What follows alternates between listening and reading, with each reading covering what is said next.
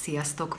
Hát természetesen miután ez a csatorna fogyókúrára, életmódváltásra, ösztönző motivációról szól, nem mehettem el a Schubert Norbi botrány témája mellett, Úgyhogy engedjétek meg, hogy teljesen konkrét tapasztalatokra építve elmondjam nektek, hogy vajon tényleg a vállásoknak az elhízása az oka, illetve néhány szóban megemlítsem azt, hogy mi az, amit én gondolok erről a dologról.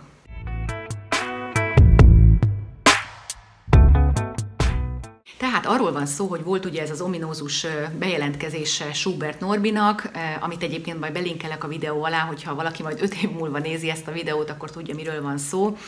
Tehát ebben a bejelentkezésben elmondta Norbi, hogy a házasságok azért mennek tönkre, mert a nők elhíznak, főleg ugye szülés után, a gyerekek félárvák lesznek emiatt, és egyéb hasonló okos dolgokat hallgathattunk, és hát erre reakcióként felhördült a teljes celebvilág, de tényleg a, a multicégektől kezdve a magánemberekig mindenki ontotta magából a, a fájdalmait és a felháborodását ezzel a témával kapcsolatban, és én arra gondoltam, hogy igazából nekem van két autentikus forrásom is, hogy ezt a témát megvizsgáljuk, és ezt megosztom itt most veletek.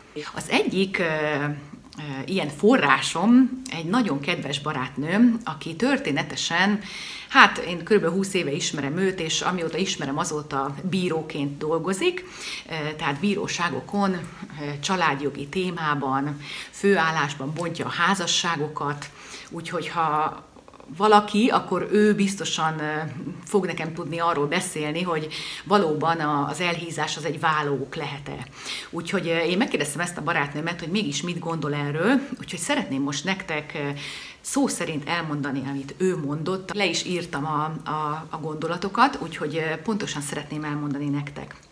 Azt mondja ő a 20 éves praxisa alapján, hogy az eddigi tapasztalatom szerint a házasságok vagy egy harmadik ember miatt, vagy pedig azért mennek tönkre, mert csak jóban akarnak társak lenni az emberek, rosszban pedig nem, mint például anyagi nehézségekben, betegségekben, vagy a gyermektelenségben. A kölcsönös elhidegülés, eltérő életszemlélet vagy életfelfogás miatt mennek tönkre a többnyire a házasságok. Sokszor tanúként kell meghallgatnom a fiatalabb szeretőket. Ilyenkor előfordul, hogy a hölgy jóval fiatalabb, de én nem emlékszem arra, hogy bármelyik férj is azt mondta volna, hogy azért romlott meg a házasságuk, mert elhízott a felesége. Ilyen konkrétan nem hangzott el. Általában a szeretők megértőbbek, kedvesebbek, mint a feleségek, legalábbis ezt mondják a férjek, de fordítva is ezt mondják a feleségek. Szóval röviden összefoglalva ennyi az, amit a vállásokkal kapcsolatban én megtudtam a bírónő barátnőmtől, tehát én szerintem itt nem a, a plusz kilókkal van a probléma. Azt gondolom, hogy mindenki magából indul ki, tehát Norbi is valószínűleg ő a testét szereti a feleségének, vagy az a legfontosabb, tényleg lehet, hogy elhagyná, ha sokkal több plusz kilót szedne föl. Ő ezt gondolja, ő magából indul ki. Én is magamból indulok ki, engem 125 kilósan is imádott a férjem, én azt gondolom, hogy a súly, a fölösleg ez nem lehet probléma, de lá, lám, a bírói gyakorlat is azt mondja, hogy nem a plusz kilók miatt történnek ezek a vállások. A másik autentikus forrás pedig ebben a témában szerintem azok a hölgyek, akikkel így az elmúlt hónapok során ilyen Alanes diéta ügyben beszélgettem. Több százan írtak, nagyon sokakkal beszélgettem személyesen, egy csomó mindenkivel telefonon.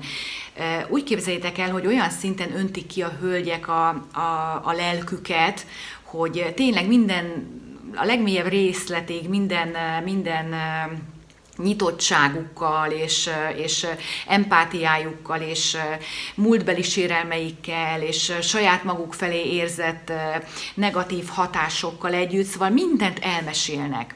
Na most nagyon sok hölgy volt, aki azt mondta el nekem, hogy azért szeretne belekezdeni a fogyókúrába, azért szeretne lefogyni, mert saját magával elégedetlen, hogy saját magának szeretne tetszeni, újra beleférni a régi ruhákba, És mindegyik elmondta, akinek volt párja, férje, hogy nekik semmi bajuk nincsen azzal, hogy most éppen hány kiló.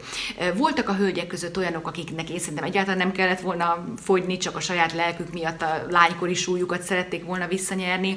Volt olyan, akire igenis ráfért, mert közeledett már a, a testsúlya, vagy az egyéb visszalári zsír százaléka a veszélyes zónához, de, de ők, ők közülük egyikőjük sem említette azt, hogy a, hogy a férje miatt, vagy a, vagy a házassága féltése miatt szeretne lefogyni.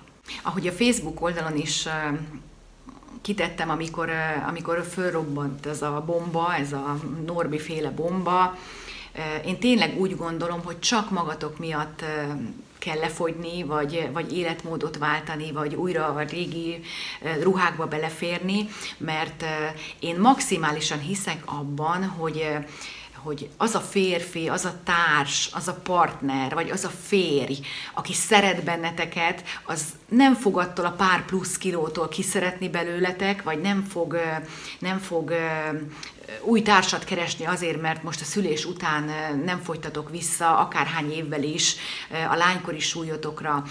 Én váltig állítom, hogy a férfiaknak az kell, hogy, hogy ugyanúgy csillogjon a szemetek, ugyanolyan jól érezzétek magatokat, ugyanolyan mosolyogva várjátok őket otthon, ugyanolyan jó hangulatban, társas kapcsolatban teljenek az együttlétek, hogy ne magatokat ostorozva egy ilyen negatív, befele forduló, depressziós nő várja otthon a férfiakat. És ez tényleg annyira nem a kilókon múlik.